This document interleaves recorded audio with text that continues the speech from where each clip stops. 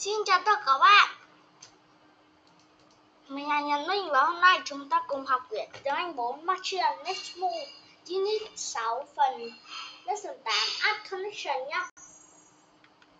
Chúng ta cùng bắt đầu nhá. Chúng ta cùng ờ, ờ, ờ, học ừ, chúng ta sẽ cùng ôn lại những cái vocabulary trên sports nha các bạn. Chúng ta có football. Hình tiếp theo là volleyball đây sẽ là basketball nha các bạn. Tiếp theo, chúng ta có tennis. Ping pong. Hoặc là table tennis nha các bạn.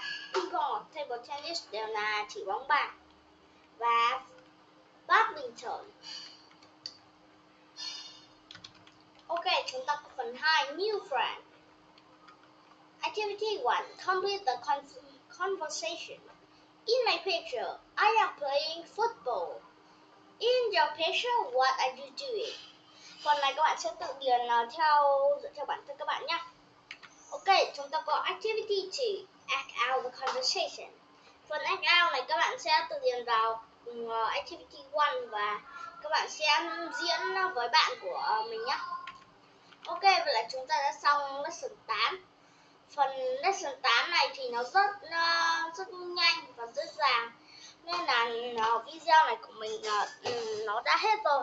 Và xin chào tất cả các bạn. Hẹn gặp lại các bạn trong video sau nhá.